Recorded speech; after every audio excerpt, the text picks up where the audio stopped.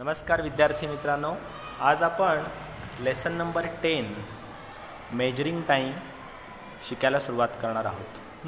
तत्पूर्वी आपण चौथीमध्ये घड्याळ शिकलो होतो. घड्याळामध्ये किती वाजले हे आपण शिकलो आहोत.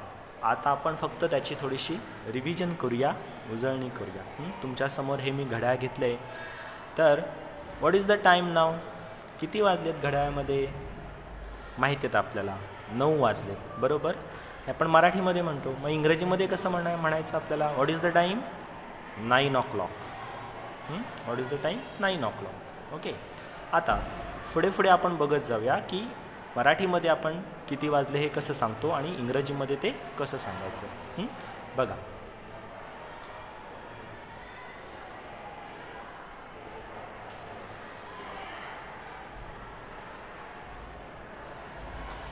Now. What is the time now मराठीमध्ये काय म्हणतो आपण? किती वाजले? नऊ वाजून पाच मिनिटे झाली. बरोबर? नऊ वाजून पाच मिनिटे झाली. मग आता हेच आपण इंग्रजीमध्ये कसं म्हणणार? Five minutes past nine five minutes past nine बघा फायू मिनिट्स होऊन गेलेत ना? So five minutes past nine पुढे जाऊया आपण. बघूया आता आपण पुढचे कसे वाचायचं आपल्याला. बघा. न व्हॉट इज द टाईम बघा किती वाजले घड्याळामध्ये. मराठीमध्ये आपण काय म्हणणार? नऊ वाजून पंधरा मिनिटे झाली. मग आता तेच इंग्रजीमध्ये कसं म्हणणार आपण? Fifteen minutes past nine fifteen minutes past nine मराठीमध्ये आणखीन आपण कसं म्हणू शकतो हे? सव्वा नऊ वाजले बरोबर? सव्वा नऊ वाजले. मग आता तेच आपण इंग्रजीमध्ये कसं म्हणणार? सव्वा म्हणजे पावभाग बरोबर? मग त्याला आपण इंग्लिशमध्ये काय म्हणतो? क्वार्टर आठवते का आपण शिकलो आहे क्वार्टर हां. So quarter past nine. कसं म्हणणार आपण? Quarter past nine. बघा सव्वा पंधरा मिनटे साठ मिनटाच्या पावभाग. So quarter past nine. ठीक आहे? पुढे जाऊया आपण. आणखीन बघूया. बघा आता. बघा घड्याळात वाजत चालले.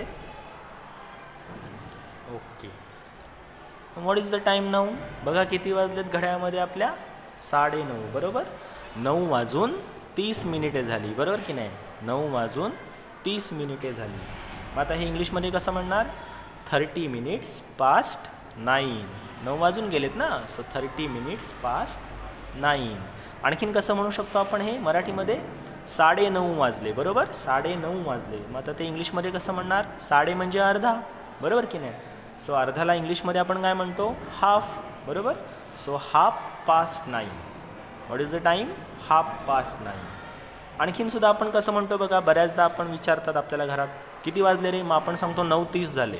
बरोबर की नाही? ही तीस मिनिटं आहेत. बरोबर की नाही? नऊ तीस झाले असं आपण म्हणतो. मग आता हे सुद्धा इंग्रजीमध्ये आपण लिहू शकतो. आपण कसं म्हणतो नऊ तीस झाले?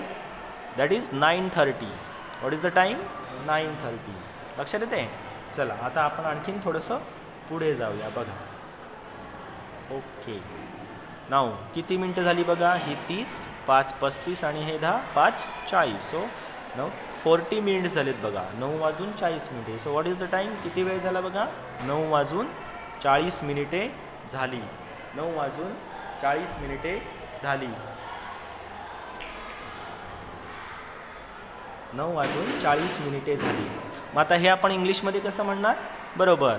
आलं लक्षात तुमच्या? हां मला कळतं आहे forty minutes past nine forty minutes past nine पण अजूनही आपण वेगळ्या प्रकारे हे सांगतो किती वाजलेत. बऱ्याचदा बघा नऊ वाजून चाळीस मिनिटे झालं असं आपण म्हणतोच. पण आपण उलटं पण सांगतो दहा वाजायला वीस मिनिटे शिल्लक आहेत. असं पण म्हणतो आपण ना दहा वाजायला वीस मिनिटे आहेत. मग आपण दहा वाजायला वीस मिनिटे आहेत हे इंग्रजीमध्ये कसं म्हणणार? Twenty minutes to ten twenty minutes to ten दहा वाजायला वीस मिनिटे शिल्लक आहे. लक्षात येते twenty minutes to ten okay? त्याच्यानंतर आता आणखीन आपण थोडंसं पुढे जाऊ बघा हा. आत्ता किती वाजले बघा. हां?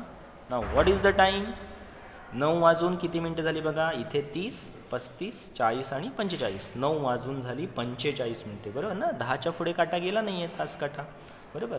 नऊ वाजून पंचेचाळीस मिनिटे झाली. मग आता हे इंग्लिशमध्ये कसं म्हणणार? बरोबर. Forty five minutes past nine. Forty five minutes past nine. दुसऱ्या भाषेमध्ये आपण कसं म्हणतो? नऊ पंचेचाळीस झाले. पावणे दहा वाजले. बरोबर की नाही? पावणे दहा वाजले. मग आता हे इंग्लिशमध्ये कसं म्हणणार बघा? पावणे दहा वाजले. पावणे दहा म्हणजे अजून पंधरा मिनटं शिल्लक आहेत. क्वार्टर शिल्लक आहेत दहा वाजायला. बरोबर ना? मग आपण कसं म्हणणार? पावणे दहा वाजले. Quarter to ten. Quarter to ten. हां किंवा दुसरं दहा वाजायला पंधरा मिनिटे आहेत हे पण कसं म्हणणार? फिफ्टीन मिनिट्स टू टेन बरोबर? फिफ्टीन मिनिट्स टू टेन किंवा दुसऱ्या बाजूत आपण नेहमी रेग्युलरला काय म्हणतो? नऊ पंचेचाळीस झाले. आपण सांगतो किती वाजले? नऊ पंचेचाळीस झाले. मग आपण कसं म्हणणार? इट्स नाईन फोर्टी फाईव्ह बरोबर? इट्स नाईन फोर्टी फाईव्ह लक्षात येतं आहे हां आपण हे बघितलं आहेत घड्याळ घड्याळ आपण चौथीमध्ये शिकलो आहोत. आता फक्त मराठी मीडियममधून जी मुलं आली की नाही त्यांच्यासाठी थोडंसं इंग्रजीमध्ये कसं म्हटलं जातं ते मी सांगितलं तुम्हाला. हां आता आपण थोडीशी आणखीन माहिती घेऊया घड्याळामधली. बघा तर आपल्या सगळ्यांना माहिती आहे हा आहे तास काटा बरोबर? हा आहे मिनिट काटा आणि हा आहे सेकंड हँड सेकंड काटा. मग आता मिनिट काटा जो आहे ना त्याला इंग्रजीमध्ये म्हणायचं मिनट हँड. काय म्हणायचं? Minute hand. हा जो आहे तो सॉरी हा जो आहे तो अवर हँड. हां छोटा आहे तो तासकाटा जो आहे तो अवर हँड. मोठा जो आहे हा तो मिनट हँड. हां आणि हा जो आहे तो सेकंड. म्हणून त्याला सेकंड हँड असं म्हणायचं. ठीक आहे? बघा अवर हँड नंतर मिनट हँड आणि सेकंड हँड. लक्षात येतं आहे हां? मग इंग्रजीमधले शब्द लक्षात ठेवा. ठीक आहे? थँक्यू